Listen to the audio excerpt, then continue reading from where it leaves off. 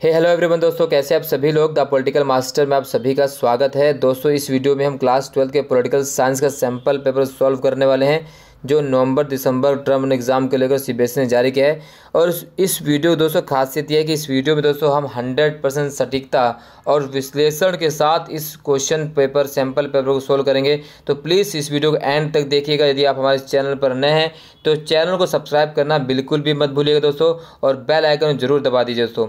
साथ ही साथ मैं आपको सभी को बताते चलूँ दोस्तों, ये जो sample paper C B S E ने केवल अंग्रेज़ी माध्यम में ही जारी किया था बट दोस्तों मैंने इसे हिंदी में कन्वर्ट किया ताकि आप सभी को जो हिंदी माध्यम के छात्र हैं, उन्हें थोड़ा सहूलियत मिल जाए क्योंकि हिंदी माध्यम में सी बी एस ई ने जारी नहीं किए हैं। तो प्लीज़ इस एफर्ट के लिए दोस्तों एक लाइक तो बनता ही यदि आप हमारे चैनल पर हैं तो चैनल को ज़रूर सब्सक्राइब कर दीजिएगा। तो पहला क्वेश्चन जो है दो सैंपल पेपर दोस्तों, वो ये है कि नव स्वतंत्र देशों को जो नौ स्वतंत्र देश उनके निर्माण के बाद से किसी भी गठबंधन से दूर रहने के विकल्प मिला। और विकल्प वो किसने प्रदान किया था, वो आप सभी को पता है दोस्तों। वो है डी यानी नैम। नैम यानी नॉन एलिगेंट मूवमेंट और नाम की स्थापना दोस्तों कब हुई थी? उन्नीस सौ इकसठ में और इसमें के लिए कौन सा सम्मेलन हुआ था? तो बेलग्रेड सम्मेलन। तो मैंने आपको पहले कह दिया कि दोस्तों, इस वीडियो में केवल सैंपल पेपर को ही नहीं, बल्कि हम इसे, इसका विश्लेषण और इसका सटीकता से अध्ययन करेंगे। ठीक है तो नाम से ये भी क्वेश्चन बन सकता है। ठीक है, उन्नीस सौ इकसठ में गुट निरपेक्ष आंदोलन की स्थापना होती है। इसका पहला सम्मेलन बेलग्रेड में होता है। ठीक है क्लियर और नाम के जो संस्थापक, अगर हम बात करें तो उसमें पाँच लोग संस्थापक देश जो हैं वो हैं। भारत है भारत के पंडित जवाहरलाल नेहरू है, युगोस्लाविया के जोसेफ ब्रास्टिटो मिस्र के गमाल अब्दुल नासिर, ठीक है, ये सब मिलाकर पाँच लोग जो हैं, वानिन क्रोमा, ये सब, इन सभी ने मिलकर नाटो की सॉरी नाम की स्थापना की थी। क्लियर चलिए नेक्स्ट क्वेश्चन पूछा गया कि महाशक्तियों के लिए छोटे राज्य क्यों महत्वपूर्ण थे? आज से पहले दो नंबर में सब्जेक्टिव पूछा जाता था बट अब इसी का उत्तर जो है दोस्तों ऑब्जेक्टिव में बता दिया है। तो महाशक्तियों के लिए छोटे राज्य महत्वपूर्ण थे क्यों? क्योंकि छोटे राज्यों में संसाधन थे, ठीक है? उन्हें क्षेत्र की आवश्यकता थी और आर्थिक सहायता भी प्राप्त हो जाती तो इसका जो सही उत्तर हुआ है दोस्तों डी यानी एक और दो और तीन तीनों सही हैं। प्रश्न नंबर तीन में पूछा गया है, नीति आयोग के उपाध्यक्ष की नियुक्ति कौन करता है? तो दोस्तों, नीति आयोग की उपाध्यक्ष की नियुक्ति करता है भारत का प्रधानमंत्री। ठीक है तो भारत के जो प्रधानमंत्री है, वो नीति आयोग की उपाध्यक्ष की नियुक्ति करता है। अगर नीति आयोग के प्रथम उपाध्यक्ष की बात करें तो नीति आयोग के जो प्रथम उपाध्यक्ष हैं, वो भी प्रश्न पूछा जा सकता है। दोस्तों, वो थे अरविंद प्रणगड़िया। दोस्तों, वीडियो थोड़ी लंबी हो सकती है बट मैं आपको गारंटी देता हूँ, अगर आपने इस वीडियो को देख लिया तो आपका ट्रम वन का आधा पॉलिटिकल साइंस के पेपर आज ही सॉल्व हो जाएगा। मैं गारंटी लिख के दे रहा हूँ। ठीक है, अरविंद पड़गरिया, नीति आयोग के प्रथम उपाध्यक्ष थे। ठीक है, वर्तमान में कौन है दोस्तों? तो वर्तमान में डॉक्टर राजीव कुमार। वर्तमान में नीति आयोग के उपाध्यक्ष हैं डॉक्टर राजीव कुमार। ठीक है, डॉक्टर राजीव कुमार जो है वर्तमान में वो उपाध्यक्ष हैं। ठीक है इसी तरह नीति आयोग के सीईओ के बारे में पूछा जा सकता है। तो नीति आयोग के जो सीईओ हैं दोस्तों, प्रथम सीईओ की अगर हम बात करें तो जो प्रथम सीईओ थी, वो थी सिंधु श्री खुल्लर। ठीक है? सिंधु सिंधु श्री खुल्लर जित वो थी, भारत की नीति आयोग की प्रथम उपाध्यक्ष थी। ठीक है? सॉरी, सीईओ थी। और वर्तमान में सीईओ कौन है नीति आयोग के? तो वर्तमान में जो सीईओ हैं, वो हैं सीईओ, वो हैं अमिताभ कांत। अमिताभ कांत वर्तमान में नीति आयोग के क्या हैं सीईओ हैं। ठीक है दोस्तों, अमिताभ कांत वर्तमान में नीति आयोग के सीईओ हैं। ठीक है, ये क्वेश्चन हो गया दोस्तों। इसके अलावा प्रश्न आपके क्या पूछा जा सकता है यहाँ से? तो नीति आयोग की स्थापना कब की गई? तो नीति आयोग की स्थापना जनवरी, एक जनवरी 2015 में की गई। नीति आयोग का अध्यक्ष कौन होता है? तो भारत का प्रधानमंत्री नीति आयोग का अध्यक्ष होता है। और नीति आयोग के प्रथम अध्यक्ष कौन थे? भारत के प्रधानमंत्री उस समय कौन थे? वो थे आपके नरेंद्र मोदी जी। ठीक है? तो ये क्वेश्चन नीति आयोग से पूछ सकता है। इसके अलावा दोस्तों, नीति आयोग की फुल फॉर्म भी पूछी जाएगी, ठीक है? तो ये भी आपको याद कर लेना है। तो ये क्वेश्चन है दोस्तों नीति आयोग से। इसके अलावा दोस्तों, मैं नीति आयोग से और बता देता हूँ, आपको नीति आयोग किस प्रकार की संस्था है? तो नीति आयोग एक गैर संवैधानिक संस्था। क्या है? गैर संवैधानिक संस्था है। क्लियर चलिए। अब अगला प्रश्न करते हैं दोस्तों। हाँ एक चीज़ और है। एक चीज़ मैं आपको और बताते चलूँ दोस्तों, जो नीति आयोग है, ये जो है, ये सहकारी संघवाद की परिकल्पना पर आधारित यानी सहकारी संघवाद को ये मज़बूत करती है नीति आयोग। इसके अलावा आप कह सकते हैं कि अधिकतम शासन न्यूनतम सरकार के दृष्टिकोण को भी, भी परिकल्पना को स्थान दिया गया है। चलिए नेक्स्ट क्वेश्चन है क्वेश्चन नंबर चार। दोस्तों, इस बात पर वीडियो को लाइक ज़रूर कर दीजिए, उसे ज़्यादा से ज़्यादा शेयर कर दीजिए प्लीज़ वीडियो को एंड तक देखिएगा, क्योंकि इससे अच्छा विश्लेषण और इससे ज़्यादा सटीकता आपको पूरे यूट्यूब पर किसी भी चैनल पर नहीं मिलने वाली। दोस्तों चैनल छोटा ज़रूर है बट आपको इस चैनल छोटे चैनल नॉलेज भर भर कर मिलने वाली है तो प्लीज़ अपनी झोलियों को भर लीजिए और सारे एग्ज़ाम को पास कर जाइए आप सभी लोग। ठीक है? अगला प्रश्न है सोवियत प्रणाली के बारे में निम्नलिखित में से कौन सा कथन सत्य नहीं है। ए, सोवियत संघ में जटिल संरचना था। बी, इसकी जटिल मशीनरी उत्पादन प्रणाली और परिवहन क्षेत्र था, जो उसके दुरुस्त क्षेत्रों के दस्तक साथ जोड़ता था। सी, इसका एक घरेलू उपभोक्ता उद्योग था। जो पिन से लेकर कारों तक हर चीज़ का उत्पादन करता था। डी, उन्नीस सौ बानवे में सोवियत संघ का विघटन हुआ।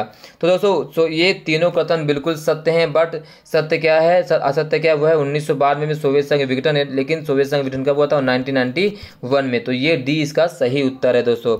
अगला प्रश्न प्रश्न नंबर पाँच। नीति आयोग द्वारा कौन सी नीति अपनाई गई? तो दोस्तों, नीति आयोग द्वारा जो नीति अपनाई गई थी, वो नीति अपनाई गई थी मेक इन इंडिया। जी हाँ दोस्तों, मेक इन इंडिया नीति अपनाई गई थी। और आपसे आपसे मैं एक प्रश्न पूछ रहा हूँ दोस्तों। तो make in India policy Bharat सरकार द्वारा अपनाया इसे आप ज़रूर कमेंट बॉक्स में बताइएगा, दो हज़ार चौदह, पंद्रह, सोलह, सत्रह। ठीक है, आपको बताना है कि NITI Aayog sorry make in India policy कब लागू की गई भारत में। क्लियर चलिए, अगला है दोस्तों प्रश्न नंबर छः नाम का विचार रखने वाले तीन नेता कौन थे? तो नाम का विचार रखने वाले तीन नेता हैं दोस्तों, नेहरू, टीटो, नासिर। इसके अलावा अगर बात करें, नेहरू, टीटो, नासिर के अलावा दोस्तों जोसेफ ब्राज टीटो हैं, ठीक है? जैसे भारत के भारत के पंडित जवाहरलाल नेहरू हैं, युगोस्लाविया के जोसेफ ब्राज टीटो हैं, मिस्र के गमाल अब्दुल नासिर हैं, घाना के, ठीक है? वाने इनक्रोमा है और इंडोनेशिया के सुकरणों हैं। तो ये पाँच लोग हैं जिन्होंने नैम की स्थापना की थी। बाकी इसका चीज़ दोस्तों पहला एक्सप्रेशन मैंने पहले प्रश्न में दे दिया था आप लोगों को, ठीक है? इसके अलावा अगला प्रश्न इसके अलावा ये प्रश्न पूछा जा सकता है दोस्तों कि नैम का जो सम्मेलन भारत में कब हुआ? तो नैम का सम्मेलन हुआ था भारत में उन्नीस सौ तिरासी में और इसकी अध्यक्षता किया था भारत के प्रधानमंत्री उसमें थी इंदिरा गांधी। ठीक है तो ये भी आपको प्रश्न बनाकर लेकर चलना है दोस्तों।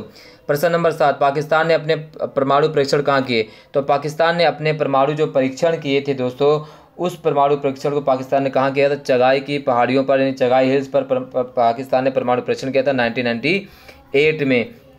ठीक है दोस्तों, भारत के परमाणु परीक्षण करने के बाद पाकिस्तान ने भी अपने चगा हिल्स में परमाणु को परीक्षण किया था। तो ये इसका सही उत्तर है। अगला है दोस्तों नव स्वतंत्र भारत के सामने सबसे बड़ी चुनौती कौन सी थी? तो नव स्वतंत्र भारत के सामने सबसे बड़ी चुनौती थी दोस्तों, वो थी राष्ट्रीय एकता की। किसकी थी? राष्ट्रीय एकता की।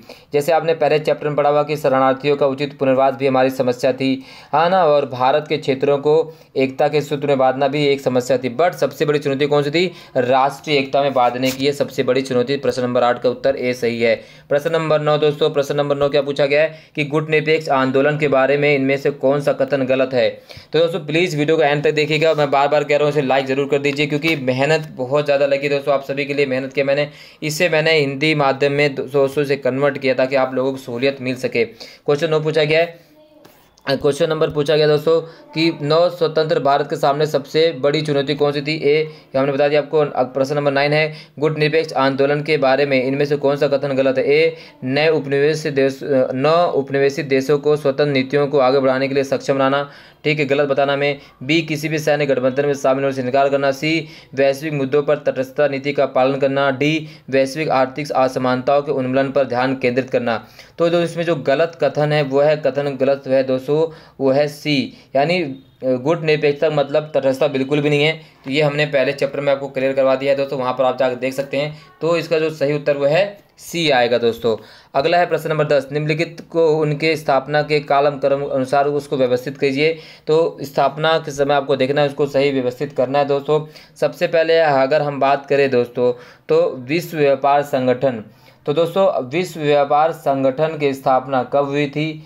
ठीक है? तो अगर हम विश्व व्यापार संगठन की बात करें दोस्तों तो विश्व व्यापार संगठन की स्थापना उन्नीस सौ पंचानवे में कब हुई थी? 1995 में विश्व व्यापार संगठन की स्थापना हुई थी। इसके अलावा दोस्तों, अगर हम एमनेस्टी इंटरनेशनल की बात करें तो एमनेस्टी इंटरनेशनल की स्थापना दोस्तों 1961 यानी 1961 में हुई थी। राष्ट्र संघ की स्थापना दोस्तों 1920 में हुई थी। और विश्व बैंक की जो स्थापना थी दोस्तों, वो 1944 में हुई थी। तो इस हिसाब से अगर देखा जाए तो सबसे पहला कौन बना था? राष्ट्र संघ, यानी तीन सबसे पहले आएगा। उसके बाद दोस्तों, सबसे राष्ट्र संघ के बाद क्या बना था? आपका विश्व बैंक, यानी तीन के बाद चार आएगा।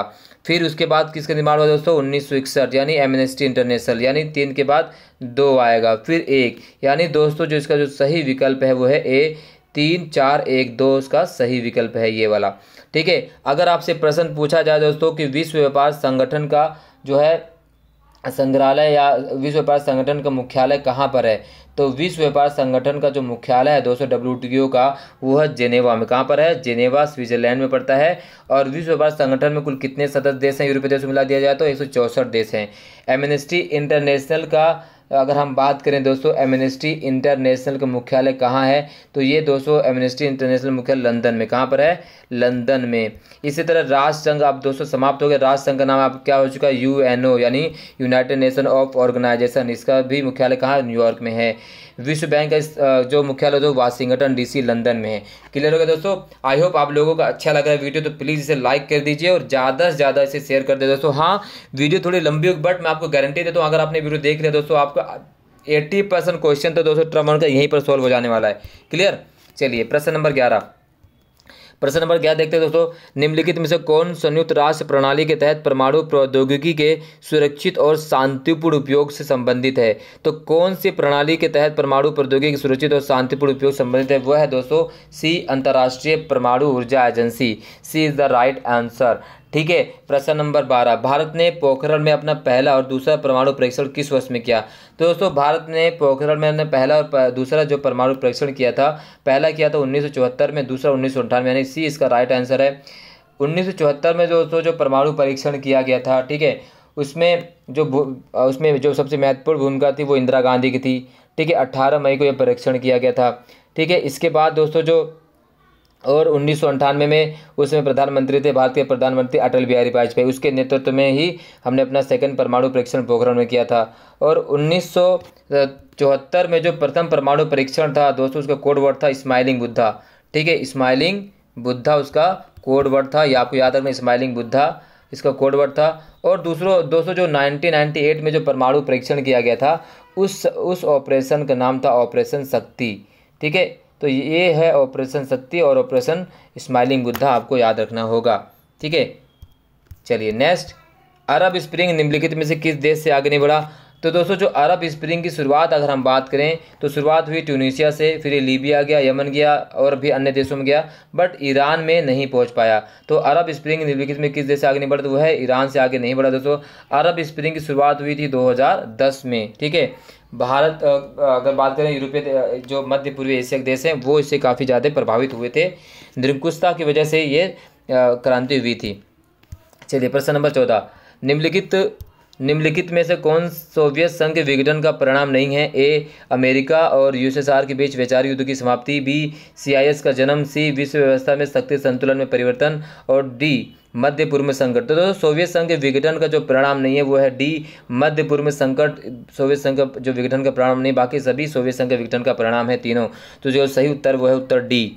चलिए, अगला प्रश्न दो। प्रश्न नंबर पंद्रह, नेहरू की विदेश नीति के तीन प्रमुख उद्देश्य क्या थे? तो नेहरू के विदेश नीति के जो तीन प्रमुख उद्देश्य थे, वो हैं दोस्तों, कड़ी मेहनत से अर्जित संप्रभुता को संरक्षित करना, क्षेत्रीय अखंडता की रक्षा करना, तीव्र आर्थिक विकास को बढ़ावा देना, यानी इसका जो सही विकल्प है, वह है दोस्तों, एक, दो और तीन, यानी सी इसका जो सही उत्तर है ये ये ये। भारत में पूंजीवादी व्यवस्था स्थापित कर नेहरू का प्रमुख उद्देश्य नहीं था। उनका उद्देश्य समाजवादी, लोकतांत्रिक समाजवाद की स्थापना करना। क्लियर हो गया दोस्तों? चलिए।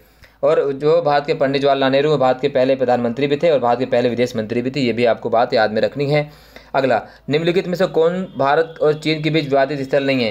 दोस्तों, भारत और चीन के बीच जो विवादित स्थल नहीं है, वो है, इसका आंसर वो है आपका लिपू लेक दर्रा। जो लिपू लेक दर्रा है दोस्तों, लिपू लेक दर्रा अगर हम बात करें तो ये भारत और नेपाल के बीच है। भारत और नेपाल के बीच विवाद है और भारतीय राज्य उत्तराखंड के काला पानी में लिपुरोग दर्रा स्थित है। तो ये विवादित स्थल नहीं, बाकी तीनों जो है चाइना से विवादित स्थल है। अगर हम दोस्तों देवसांग मैदान की बात करें तो देवसांग मैदान जो है भारत के जम्मू कश्मीर के बीच जो है पूर्वी भाग में लद्दाख क्षेत्र और चीन अधिकृत अक्साई क्षेत्र की की सीमा पर स्थित है। और ये एक ऊँचा मैदानी इलाका है और उन्नीस सौ बासठ में दोस्तों, नाइनटीन देवसांग मैदान में नाइनटीन सिक्सटी टू, उन्नीस में इस पर कब्जा कर लिया चाइना ने। और भारत और चीन के बीच आज भी ये एक विवादित स्थल है। डोकलाम भी भारत और चीन के बीच एक विवादित स्थल है। और आप लोग बात बात करते हैं गालवान घाटी, जिसमें अभी झड़प हुई थी, ये भी एक विवादित स्थल है। ठीक है तो इसका जो सही उत्तर वो है डी, जो संबंधित नहीं है दोस्तों। नेक्स्ट। प्रश्न नंबर सत्रह। निज़ाम है, निज़ाम हैदराबाद के लिए एक स्वतंत्र दर्जा चाहता था। उन्होंने नवंबर उन्नीस सौ सैंतालीस में देश के लिए भारत के साथ ठहराव समझौता किया था जबकि भारत सरकार के साथ बातचीत चल रही थी। वो तो निज़ाम और निज़ाम जो है भारत दोस्तों एक स्वतंत्र राज्य की मांग कर रहा था। वो भारत में विलय के लिए नहीं कह रहा था। ठीक है तो लेकिन भारत के साथ उनके साथ जो बातचीत चल रही थी वो चल रही थी एक साल से। तो इसका विकल्प ए सही है दोस्तों। अगला प्रश्न है किसी देश की विदेश नीति, उसकी आर्थिक नीति का परिणाम है, टिप्पणी किसके द्वारा की गई थी? तो किसी देश की विदेश नीति, उसकी आर्थिक नीति का परिणाम है, ये टिप्पणी की गई दोस्तों जवाहरलाल नेहरू द्वारा, जैसे मैंने आपको पहले बता दिया। जवाहरलाल नेहरू भारत के पहले प्रधानमंत्री होने के साथ भारत के पहले विदेश मंत्री भी थे और भारत की विदेश नीति पर सबसे गहरी छाप पंडित जवाहरलाल नेहरू की ही पड़ी हुई है। ठीक है दोस्तों, चलिए नेक्स्ट शीत युद्ध का उच्च बिंदु था। तो शीत युद्ध का सबसे चरम बिंदु दोस्तों कहा जाता है, क्यूबा मिसाइल संकट को उन्नीस सौ बासठ में, जब सोवियत संघ और अमेरिका की सेना जो है आमने सामने हो गई थी। चलिए, क्यूबा मिसाइल संकट से दोस्तों बहुत से प्रश्न पूछे जा सकते हैं। प्रश्न ये भी बन सकता है कि क्यूबा मिसाइल संकट के समय अमेरिकी राष्ट्रपति कौन थे? प्रश्न ये भी बन सकता है कि क्यूबा मिसाइल संकट के समय सोवियत संघ के राष्ट्रपति कौन थे और क्यूबा मिसाइल संकट के समय जो है क्यूबा का राष्ट्रपति कौन था? ये प्रश्न भी बन सकता है दोस्तों तो उसे प्लीज़ मेरे पिछले वीडियो से जाकर वहाँ से कन्फर्म कर लीजिए। वहाँ मैंने सारी चीज़ें वहाँ पर पढ़ा रखी हैं दोस्तों। चलिए, अगला प्रश्न। अगला प्रश्न है, प्रश्न नंबर बीस एमनेस्टी इंटरनेशनल क्या है? तो दोस्तों एमनेस्टी इंटरनेशनल आपको पता है कि मानव अधिकारों की बात करता है और एमनेस्टी इंटरनेशनल दोस्तों, एक गैर सरकारी संगठन है। क्या है? एक गैर सरकारी संगठन। क्लियर चलिए निम्नलिखित कथनों में से विषम का चयन करें। राज्य पुनर्गठन अधिनियम उन्नीस सौ छप्पन में लागू हुआ, बिल्कुल ठीक हुआ। भारत के विभाजन उन्नीस सौ सैंतालीस हुआ था रियासतों की संख्या पाँच सौ बारह नहीं थी तो गलत ये है। तो विषम दोस्तों यही है, भारत की स्वतंत्रता उन्नीस सौ सैंतालीस। तो विषम अगर बात करें तो रियासतों की संख्या पाँच सौ पैंसठ थी, ठीक है, ना कि पाँच सौ बारह। तो ये इसका सही विकल्प है। चलिए, अगला। भारत चीन संघर्ष का विपक्षी दलों पर क्या प्रभाव पड़ा? तो भारत चीन संघर्ष का विपक्षी दलों पर क्या प्रभाव पड़ा दोस्तों? इसके बाद देख लेते हैं। ए, सीपीआई जो सोवियत संघ के पक्ष में थी, कांग्रेस साथ नदी की बड़ी, बिल्कुल बी, उन्नीस में भारतीय कम्युनिस्ट पार्टी टूट गई, बिल्कुल ठीक है। भारत के नेताओं को पूर्वोत्तर की स्थिति के बारे में सचेत किया, बिल्कुल ठीक है। डी, नागालैंड को राज्य का दर्जा दिया गया, बिल्कुल गलत है। तो भारत चीन संघर्ष के विपक्षी दलों पर प्रभाव पड़ा था। तो इस, अगर हम बात करें भारत चीन संघर्ष के, इस नीचे देखिए बल का सही जो उत्तर है, वो है, ये आपका चौथा, केवल केवल ठीक है, चार जो है, चौथा। ठीक है दोस्तों, ये ये नहीं है, ये नहीं है, बाकी सभी क्या है यानी एक, दो, तीन, यानी केवल एक, दो, तीन और सही चौथा बिल्कुल गलत है, ठीक है? चलिए नेक्स्ट है, रूसी क्रांति पूंजीवाद के विपरीत आदर्श और समाजवाद की आवश्यकता से प्रेरित थी तो इसका जो विकल्प है दोस्तों, विकल्प इसका है ए, यानी समाजवाद और समतावादी से, ठीक है? चलिए, प्रश्न अगला है दोस्तों, निम्नलिखित में से कौन सा कथन सत्य पहले एक बार यहाँ बता तो जो रूसी क्रांति थी दोस्तों, उन्नीस सौ सत्रह में हुई थी कब हुई थी? उन्नीस सौ सत्रह। चलिए नेक्स्ट निम्नलिखित में से कौन सा कथन असत्य है? हैदराबाद के निज़ाम राज्य के लिए एक स्वतंत्र दर्जा पाने के इच्छुक थे। ए, बी है जम्मू और कश्मीर के विलय के दस्तावेज़ पर हस्ताक्षर करने के लिए तैयार था। सी, जूनागढ़ का मुद्दा, राज्य में एक जनमत संग्रह के बाद सुलझाया गया था। डी, त्रावणकोर, भारत संघ में विलय करने वाला पहला भारतीय राज्य नहीं था। तो हमें बताना इसमें कौन सा सही आ, आ, कौन सा असत्य है। तो सबसे पहले देख लेते हैं दोस्तों अगर हम बात करें हैदराबाद तो हैदराबाद के निज़ाम राज्य के लिए स्वतंत्र दर्जा पाने की चुके थे बिल्कुल ठीक थे। हैदराबाद के निज़ाम जो थे वो हैदराबाद को एक स्वतंत्र राज्य रखना चाहते थे। जी हाँ हैदराबाद को एक स्वतंत्र राज्य रखना चाहते थे और हैदराबाद के जो निज़ाम का नाम था वो क्या था दोस्तों? हैदराबाद के निज़ाम का नाम था मीर उस्मान अली। क्या था? मीर उस्मान अली। मीर उस्मान अली हैदराबाद को दोस्तों एक स्वतंत्र राज्य रखना चाहते थे और हालाँकि बाद में 1948 में भारतीय सेना द्वारा 13 सितंबर 1948 में भारतीय सेना द्वारा ऑपरेशन, ठीक है, ऑपरेशन पोलो के तहत, ठीक है, ऑपरेशन पोलो के तहत आपसे प्रश्न पूछा जा सकता है कि हैदराबाद को किस ऑपरेशन के माध्यम से क्यों भारत में लाया गया तो ऑपरेशन पोलो के तहत किसके माध्यम से, पुलिस कार्रवाई के द्वारा। ठीक है ऑपरेशन का नाम है ऑपरेशन पोलो है। माध्यम पुलिस कार्रवाई द्वारा उन्नीस सौ अड़तालीस में, तेरह सितंबर उन्नीस सौ अड़तालीस को हैदराबाद राज्य को भारत में विलय कर लिया गया। निज़ाम का नाम है मीर उस्मान अली। इससे अगर हम त्रावणकोर की बात करें तो त्रावणकोर भारत संघ में विलय करने वाला पहला भारतीय राज्य नहीं था। असत्य कथन चुना था। तो त्रावणकोर भारत संघ में विलय करने वाला पहला भारतीय राज्य नहीं था। बिल्कुल सही है। तो ये पहला भारतीय राज्य नहीं था। तो त्रावणकोर जो है दोस्तों भारत में विलय करने से इनकार करने वाली सबसे पहली रियासत थी। ये इनकार करने वाली सबसे पहली रियासत थी। बाद में तीस जुलाई उन्नीस सौ सैंतालीस को त्रावणकोर भारत का हिस्सा बना। ठीक है? तो ये भी है। ठीक है? जूनागढ़ का मुद्दा राज्य में एक जन्म संग्रह के बाद सुलझाया गया था। बिल्कुल जूनागढ़ का मुद्दा जन्म संग्रह के माध्यम से सुलझा था और जम्मू और कश्मीर के विलय दस्तावेज़ पर हस्ताक्षर करने को तैयार था। तो दोस्तों, बी इसका जो ये उत्तर आ सकता है, जम्मू कश्मीर जो है ना, विलय के पत्र पर हस्ताक्षर करने के तैयार पहले तैयार नहीं था, बाद में तैयार हुआ। पहले एक स्वतंत्र राज्य की डिमांड कर रहे थे तो इसका उत्तर होगा बी, यानी बी असत्य है, ठीक है? चलिए, अब बात करते हैं दोस्तों प्रश्न नंबर पच्चीस। शीत युद्ध के दौरान युद्ध क्यों नहीं हुआ था? तो इसमें खंड बी में भी कोई बीस प्रश्न करने तो शीत युद्ध के दौरान युद्ध क्यों नहीं हुआ था? ए, प्रतिरोध के सिद्धांत के कारण, ठीक है नाम के कारण, क्यूबा मिसाइल संघर्ष के कारण और संयुक्त राष्ट्र की सक्रिय भागीदारी कारण। तो दोस्तों, शीत युद्ध के दौरान जो युद्ध इसलिए हुआ, क्योंकि प्रतिरोध के सिद्धांत क्या क्यों प्रतिरोध के सिद्धांत क्या कि दोनों जो देश थे आपस में काफ़ी गठजोड़ बने हुए थे, आप कह सकते दोनों ताकतवर थे और दोनों को पता था अगर एक ने दूसरे पर आक्रमण किया तो दूसरा भी उस पर आक्रमण करने में उतना ही सक्षम है। तो इसका उत्तर आएगा दोस्तों, ए यानी प्रतिरोध के सिद्धांत के कारण। प्रश्न नंबर छब्बीस, रूस यूएसएसआर का उत्तराधिकारी क्यों बना? तो दोस्तों, रूस जो है, यूएसएसआर का उत्तराधिकारी क्यों बना? इसको लेकर हमारे पास विकल्प है। रूस ने सीआईएस के गठन का नेतृत्व किया। बी इसे संयुक्त राष्ट्र में सोवियत सीट विरासत मिली। यह सबसे बड़ा गणतंत्र था और बोरिस येल्तसिन गोरबाचो की तुलना में अधिक करिश्माई थे। तो इसका जो सही उत्तर है, वो है, दोस्तों, वो है दो, यानी केवल बी और सी, यानी इसे संयुक्त राष्ट्र में सोवियत सीट विरासत मिली और ये सबसे बड़ा गणतंत्र था। तो बी और सी इसका सही उत्तर है। चलिए, अगला प्रश्न, दोस्तों 1920 में कांग्रेस के नागपुर अधिवेशन के बाद से यह सिद्धांत स्वीकार किया गया था कि राज्यों का पुनर्गठन भाषाई आधार पर होगा। इसके बावजूद नेता आज़ादी के बाद इसके खिलाफ थे क्योंकि ए, आज़ादी और विभाजन के बाद चीज़ें बदल जाती हैं। बी, व्यवधान और विघटन का कारण बन सकता है। सी, मिश्रित अर्थव्यवस्था को अपनाना। डी, एक नियोजित अर्थव्यवस्था को अपनाना। तो 1920 में कांग्रेस के नागपुर अधिवेशन के बाद से यह सिद्धांत स्वीकार किया गया था कि राज्यों के पुनर्गठन भाषा आधार पर होगा। इसके बावजूद नेता आज़ादी के बाद इसके खिलाफ क्यों थे? क्योंकि दोस्तों, इससे क्या हो जाता है? इससे सबसे पहले अगर हम बात करें तो व्यवधान और विघटन का कारण बन सकता है यानी ठीक है? ये दो, ठीक है, इसके अलावा अगर हम बात करें, एक नियोजित अर्थव्यवस्था को अपनाना था हमें तो ये जो चीज़ें हैं, खिलाफ थी। तो इसके बाद खिलाफ क्यों थी? बी और तीन।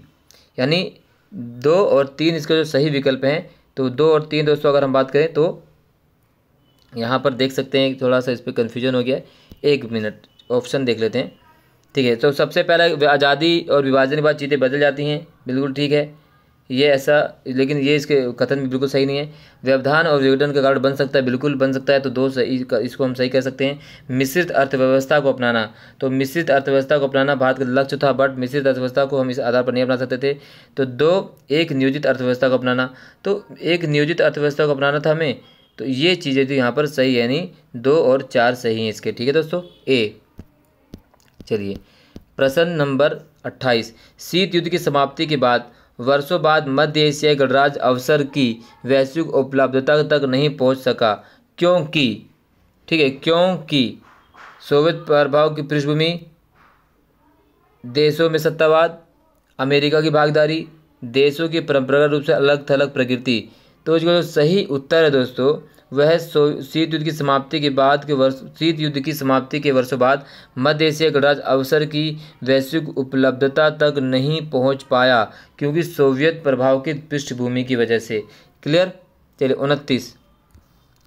Thirty nine, twenty nine. रियासतों के एकीकरण का कार्य सरदार वल्लभ भाई पटेल को सौंपा गया था। निम्नलिखित में से कौन सा तर्क सही नहीं है? तो पहला है तर्क उनके पास एक लंबा राजनीतिक अनुभव था, बिल्कुल सही है वह एक दूरदर्शी और अच्छे व्यक्ता थे, बिल्कुल सीख है। मुस्लिम लीग चाहती थी कि एकीकरण का कार्य सरदार पटेल को सौंपा जाए, या वह गृह मंत्री के साथ रियासत के विभाग मंत्री भी थे। तो जो सही नहीं है दोस्तों, वह सी ठीक है, सी सही नहीं है। चलिए, अगला। प्रश्न नंबर तीस। भारत सरकार ने उन्नीस सौ इकहत्तर में सोवियत संघ के साथ संधि पर हस्ताक्षर क्यों किया? तो भारत सरकार ने सोवियत संघ के साथ संधि पर हस्ताक्षर इसलिए किया क्योंकि दोस्तों, बांग्लादेश संकट के दौरान भारत को राजनयिक और सैन्य सहायता की आवश्यकता थी।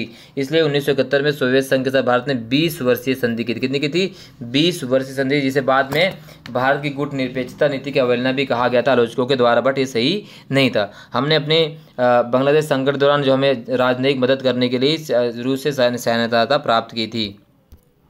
प्रश्न नंबर इकतीस। नीति आयोग के बारे में इन कथनों पर विचार करें, गलत कथन का पता लगाएँ। नीति आयोग केंद्र सरकार के थिंक टैंक के रूप में कार्य करता है।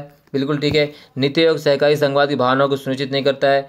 भारत के प्रधानमंत्री नीति आयोग के प्रधान अध्यक्ष, बिल्कुल सही है। डॉक्टर राजीव कुमार नीति आयोग के वर्तमान उपाध्यक्ष हैं। तो जो कथन गलत, वो है दोस्तों ये नीति आयोग सहकारी संघवाद की भावनाओं को सुनिश्चित नहीं करता, बल्कि नीति आयोग सहकारी संघवाद की भावनाओं को सुनिश्चित करता है। तो B is the right answer. Shock therapy एक घटना जुड़ी है किसके ठीक है तो शौक थेरेपी जो किस घटना से जुड़ी हुई दोस्तों प्रश्न नंबर एक बत्तीस। ताजिकिस्तान और अजरबैजान में मध्य एशियाई संघर्ष B new international economic order US ने साम्यवाद को जड़ से खत्म करने की योजना बनाई और यूएसए डॉलर के मुकाबले रूसी मुद्रा को स्थिर करना। तो इसके जो सही ऑप्शन है दोस्तों वह है सी यूएसए ने साम्यवाद को जड़ से खत्म करने की योजना बनाई थी। तो बत्तीस का जो है आंसर वह है दोस्तों आपका सी ठीक है, बत्तीस जो है सी इसका राइट आंसर है। अगला, क्यूबा, यूएस हाँ। अगला दोस्तों, अगला प्रश्न है हाँ शब्द सबसे बड़ा, यानी तैसवें प्रश्न यहाँ पे लिख दिया दोस्तों देख सकते हैं। ये है, शब्द सबसे बड़ा गैरेज इतिहास में बिक्री का संबंध किससे है? तो वह शोक थेरेपी से, दोस्तों, इसे विश्व की सबसे बड़ी गैराज सेल के नाम से भी जाना जाता है, और ये जो शोक थेरेपी है, वो सोवियत संघ विघटन का परिणाम भी साबित होती है, दोस्तों। अभिगतन दिया गया है दोस्तों रीजनिंग वाला क्वेश्चन यहाँ पूछा गया है। अभिज्ञता ने, शीत युद्ध ना तो युद्ध होता और ना ही सशस्त्र सैन्य संघर्ष और ना ही शांति की स्थिति। ये बल्कि असहज शांति की स्थिति थी। ये बल्कि असहज शांति की स्थिति कारण दिया गया है। शीत युद्ध चतुर चालों, प्रचारक गतिविधियों और राजनयिक संघर्षों से नहीं लड़ा जा रहा था। अभिकथन और कारण दोनों सही हैं। कारण अभिकथन की सही व्याख्या है। अभिकथन और कारण दोनों सही, लेकिन कारण अभिकथन की सही व्याख्या नहीं है। अभिकथन गलत है, लेकिन कारण सही है। अभिकथन सही लेकिन कारण गलत है। तो अभिकथन सही है, लेकिन कारण गलत है, दोस्तों तो इसका D answer is the right answer है। ठीक है फोर थर्टी फोर का D is the right answer चलिए, छत, अब अगला प्रश्न देखते प्रश्न नंबर पैंतीस। प्रश्न नंबर पैंतीस में पूछा गया, अमेरिकी राष्ट्रपति जॉर्ज बुश ने किस स्थिति को नई विश्व व्यवस्था करार दिया? तो अमेरिकी राष्ट्रपति ने जॉर्ज बुश ने किस स्थिति को नई व्यवस्था करार दी, वो है संयुक्त राष्ट्र ने ऑपरेशन डेजर सिस्टम की अनुमति दे दी थी। बी, संयुक्त राष्ट्र ने ऑपरेशन इराकी फिर की अनुमति दे दी थी। सी, टालने वाले टलने वाले क्यूबा मिसाइल संकट को जानने के लिए डी, इराक के इराक के युद्ध में हराकर। तो पैंतीसवें का जो उत्तर है वो है दोस्तों, संयुक्त राष्ट्र ने ऑपरेशन डेजर सिस्टम की अनुमति दे दी थी और इसी को ही राष्ट्रपति जॉर्ज बुश ने क्या बोला दोस्तों? विश्व व्यवस्था, यानी नई विश्व व्यवस्था करार दिया। A is the right answer इसका। प्रश्न नंबर चलिए अरब स्प्रिंग का परिणाम था। तो दोस्तों, अरब स्प्रिंग का परिणाम क्या था? तो अरब स्प्रिंग का दोस्तों जो परिणाम था थर्टी सिक्स का जो आंसर होगा, वो है दोस्तों, ए, निरंकुश तानाशाही। ठीक है? नीति आयोग फेडरेशन को बढ़ावा देने के लिए एक थिंक टैंक के रूप में कार्य करता है, जहाँ सरकार प्रौद्योगिकी की मदद से कार्य करती है, सही विकल्प चयन करे। तो नीति आयोग जो है, दोस्तों, जो कार्य करता है, वो कार्य करता है किसका? तुलनात्मक केंद्रीय प्राधिकरण, सहकारी सुविधा करता डी सह संबंध प्रवर्तक और प्रतिस्पर्धी नियंत्रक। तो नीति आयोग, है ना? नीति आयोग फेडरेशन को बढ़ावा देने के लिए एक थिंक टैंक के रूप में कार्य करता है। तो इसका जो सही विकल्प है दोस्तों, वह सहकारी सुविधाकर्ता के रूप में। ठीक है? चलिए, अगला प्रश्न। नीति आयोग द्वारा योजना आयोग की जगह क्यों ली गई? तो नीति आयोग द्वारा योजना आयोग की जगह इसलिए ली गई ताकि दोस्तों विकास की कठिन चुनौतियों से निपटने के लिए और अधिक प्रयास की आवश्यकता थी जो योजना आयोग नहीं कर पा रही थी। इस वजह से योजना आयोग को समाप्त करके निजी की नीति आयोग की स्थापना की गई। तो इसका विकल्प ए, इसका सही उत्तर है दोस्तों। प्रश्न नंबर उनतालीस। विश्व की समकालीन वास्तविकताओं को देखते हुए संयुक्त राष्ट्र किस प्रकार अधिक महत्वपूर्ण भूमिका निभा सकता है? तो विश्व की जो समकालीन वास्तविकताओं को देखते हुए संयुक्त राष्ट्र जो है, किस प्रकार अधिक महत्वपूर्ण भूमिका निभा सकता है वह है दोस्तों, मानव अधिकारों के उल्लंघन के बारे में अधिक मुखर होकर और अपरिवर्तन का आह्वान करके। ये जो है, उसका विकल्प सही है दोस्तों, ए। अगला प्रश्न है। अगला प्रश्न पूछा गया दोस्तों, अप्रैल उन्नीस सौ उनचास में उत्तरी अटलांटिक सदी संगठन बारह राज्यों का संघ था, बिल्कुल था, जिसने घोषणा की कि यूरोप या उत्तरी अमेरिका में उनसे किसी एक पर सशस्त्र हमले को, उन सभी हमला माना जाएगा। कारण कारण क्या दिया कारण प्रत्येक राज्य दूसरे की मदद करने के लिए बाध्य होगा। अभिगतन क्या पूछा गया है? अभिगतन और कारण दोनों सही और कारण अभिगतन की सही व्याख्या है। बी, अभिगतन और कारण दोनों सही, लेकिन कारण अभिगतन की सही व्याख्या नहीं है। सी, अभिगतन गलत है, लेकिन कारण सही डी, अभिगतन सही, लेकिन कारण गलत है। तो इसका चौ, चालीस का जो उत्तर है, वह है दोस्तों, जैसे यहाँ पर सिंपल शब्द में आपको पता होना चाहिए कि अप्रैल उन्नीस सौ उनचास में नाटो की स्थापना की गई। इसमें जो बारह राज्यों ने इससे मिलकर संगठन की स्थापना किया, घोषणा की यूरोप या उत्तरी अमेरिका में उनसे किसी एक पद, सस पर हमले, उन पर अभी हमला माना जाएगा बिल्कुल ठीक है। यानी का, जो है आपका जो अभिकथन तो बिल्कुल सत्य है, ठीक है। कारण क्या क्या? कारण प्रत्येक राज्य दूसरे की मदद करने के लिए बाध्य होगा, ठीक है। अभिकथन और कारण दोनों से, लेकिन कारण जो है अभिकथन की सही व्याख्या नहीं तो B is the right answer ठीक है। प्रश्न नंबर इकतालीस, शांति बनाए रखने में अंतर्राष्ट्रीय संगठन बहुत महत्वपूर्ण भूमिका निभाते हैं। ठीक है, कारण देशों का आपस में टकराव और मतभेद अभिकथन और कारण दोनों सही है और कारण अभिकथन की सव्याख्या करता है। अभिकथन और कारण दोनों सही, लेकिन कारण अभिकथन की सव्याख्या नहीं करता है। अभिकथन गलत है, लेकिन कारण सही है। इसके साथ अभिकथन सही, लेकिन कारण गलत है। तो इकतालीसवें जो सही विकल्प है दोस्तों, वह है बी अभिकथन और कारण दोनों सही, लेकिन अभिकथन की सही व्याख्या नहीं है। नेक्स्ट, दावा, संयुक्त राष्ट्र के सभी सदस्यों के पास एक वोट है। हालाँकि स्थायी सदस्य नकारात्मक तरीके से मतदान कर सकते हैं। कारण, विकासशील दुनिया में विकास के कई कई कई अलग अलग स्तरों पर देश शामिल हैं। तो यहाँ पर भी अभिकथन और कारण दिया गया दोस्तों। तो जो बयालीसवें का उत्तर वो है अभिकथन और कारण दोनों सही हैं, लेकिन कारण अभिकथन की सही व्याख्या नहीं है। तो B is the right answer Soviet संघ प्रशासनिक और राजनीतिक अर्थों में भी स्थिर हो गया था। कारण दिया गया है कि सोवियत सोवियत व्यवस्था समाजवाद की विचारधारा पर आधारित थी। तो सोवियत अर्थव्यवस्था, जो समाजवाद की विचारधारा पर आधारित थी, ये कारण दिया गया है। तो दोस्तों, सबसे पहले यहाँ पर देखना आपको कि जो सोवियत संघ प्रशासनिक और राजनीतिक अर्थों में भी स्थिर हो गया था, बिल्कुल हो गया था। सोवियत व्यवस्था समाजवाद की विचारधारा पर आधारित थी। तो यहाँ पर दोस्तों, अभिगतन और कारण दोनों सत्य और कारण एक अभिगतन की सही व्याख्या करता है। तो ए इसका सही विकल्प है। चवालीसवां, ये भी दोस्तों है, जहाँ तक सुरक्षा परिषद में स्थायी सीट के लिए भारत के दावे का संबंध है, गलत तर्क की व्याख्या को चुनना हमें दोस्तों। तो हमारे, इसमें से गलत तर्क क्या वो चुनना है? पहला, भारत ने संयुक्त राष्ट्र में वित्तीय योगदान दिया है और इसके भुगतान पर हमेशा लड़खड़ाता रहा।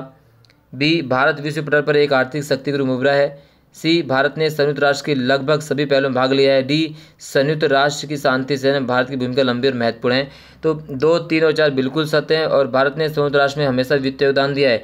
बट इसके भुगतान पर हम कभी लड़खड़ाए नहीं है तो ए, जो उसका कथन गलत है तो दोस्तों जो सही है, दो, तीन और चार बिल्कुल भी सही है, उसका उत्तर है दो, तीन और चार सही है इसके। दावा, नीति आयोग एक गैर संवैधानिक निकाय बिल्कुल ठीक है। भारत के मुख्य, मुख्यमंत्री नीति आयोग के पदेन अध्यक्ष है बिल्कुल गलत है तो इसमें कथन सही परंतु कारण गलत है। ठीक है तो अभी कथन सत्य परंतु कारण असत्य है तो पैंतालीस का दोस्तों क्या हो जाएगा, सी हो जाएगा। निम्नलिखित में से किस मामले में अंतर्राष्ट्रीय संगठन मदद करता है? तो छियालीसवें अगर हम बात करें, पहला है बेहतर रहने की स्थिति, लोकतांत्रिक देशों की स्थापना के लिए, शांति और युद्ध के मामलों में मानवाधिकार उल्लंघन रोकने के लिए, क्षेत्रीय विवादों को हल करने के लिए। तो छियालीसवें का दोस्तों जो उत्तर है, वो है हमारा जो संयुक्त अंतर्राष्ट्रीय संगठन मदद करता, किसमें मदद करता है? वो मदद करता है दोस्तों शांति और युद्ध के मामलों में, ठीक है? बी और डी, क्षेत्रीय विवादों को हल करने के लिए। तो इसका जो सही उत्तर वो है बी और, नहीं नहीं हाँ ठीक है बी और सी मानव अधिकारों के मामलों में और शांति और युद्ध के मामले में और मानव अधिकारों के उल्लंघन को रोकने के लिए ये इसका जो सही विकल्प है दोस्तों वो है फोर्टी सिक्स का डी बी और सी चलिए सैंतालीस। भाषा के आधार पर राज्यों के पुनर्गठन का नकारात्मक प्रभाव पड़ा। तो भाषा के आधार पर राज्यों के पुनर्गठन का नकारात्मक प्रभाव पड़ा बिल्कुल आप जग ज़ाहिर दोस्तों। देश कई छोटे क्षेत्रों में अलग अलग राज्यों की मांग को लेकर आंदोलन शुरू हो गया था। ये इसका जो सही उत्तर है, डी, अड़तालीसवां क्वेश्चन। नेहरू युग के दौरान हमारे देश में कुछ राजनीतिक दलों और समूहों ने क्यों माना कि भारत को अमेरिका के नेतृत्व वाले ब्लॉक के साथ अधिक मित्रवत होना चाहिए? ये क्यों माना गया? तो इसलिए माना गया दोस्तों, क्योंकि अमेरिकी गुट ने लोकतंत्र समर्थक होने और पूंजीवाद को बढ़ावा देने का दावा किया था। अमेरिका ने हमेशा भारत का साथ लिया। अमेरिका ने अपनी सभी नीतियों में भारत का समर्थन किया। अमेरिका भारत के बहुत करीब था। तो ये था दोस्तों ए इसका जो सही विकल्प था तो ये इसका विकल्प सही है दोस्तों। इसके अलावा दोस्तों, ये सारे क्वेश्चन जो है गद्यांश पर आधारित हैं। गद्यांश बहुत ईजी क्वेश्चन पूछा गया, इसको आप पढ़ सकते हैं। जैसे उन्नीस सौ सैंतालीस में भारत के विभाजन बहुत दर्दनाक साबित हुआ। क्यों? क्योंकि दोनों देशों के नेताओं ने इसकी ठीक से संभाला, लोगों को भाषा दर पर विभाजित किया गया। यह जनसंख्या का सबसे बड़ा, सबसे अचानक और अनियोजित और दुखद हस्तांतरण था। ये इसका विकल्प सही हो गया। इसी तरह विभाजन के मार्ग में कौन कौन सी बड़ी कठिनाइयाँ थी, इसका भी उत्तर आपको दे देना है। दोस्तों, बहुत ही आसान आसान क्वेश्चन पूछा गया है। यदि भारत विभाजन नहीं होता तो विश्व में भारत की क्या स्थिति होती? ठीक है ये सब क्वेश्चन दोस्तों, यानी आप कह सकते हैं एक प्रकार से है गद्यांश का जो क्वेश्चन आपको पढ़ के सॉल्व कर लेना है। वीडियो थोड़ी लंबी हो जाएगी दोस्तों, इस वजह से मैं इसको नहीं सोल्व करवा रहा हूँ। तो किसी वीडियो में इसको भी मैं सोल्व करवा दूँगा दोस्तों। तो यहाँ से आप देख सकते हैं, इसके अलावा दोस्तों दो चित्र वाले, जो दो चित्र वाले प्रश्न हैं, उन चित्र वाले प्रश्न का भी सोल्यूशन मैं आप सभी को दे दूँगा दोस्तों। वीडियो के डिस्क्रिप्शन वहाँ से आप देख सकते, देख लीजिएगा। दोस्तों, आप कमेंट में ज़रूर बताना कि आपको वीडियो कैसे लगे अच्छी लगे तो प्लीज़ इसे लाइक कर दीजिएगा। और मैं गारंटी कहता हूँ दोस्तों, आपको वीडियो अच्छी लगे क्योंकि इसमें मैंने सटीकता से विश्लेषण किया है और आपको बहुत ही ज़्यादा हेल्प करने वाली है आगामी परीक्षाओं को लेकर। तो प्लीज़ चैनल को अगर आप नए हैं तो चैनल को ज़रूर सब्सक्राइब कर दीजिएगा। बेलाइकन दबाना बिल्कुल भी मत भूलिए दोस्तों। जय हिंद।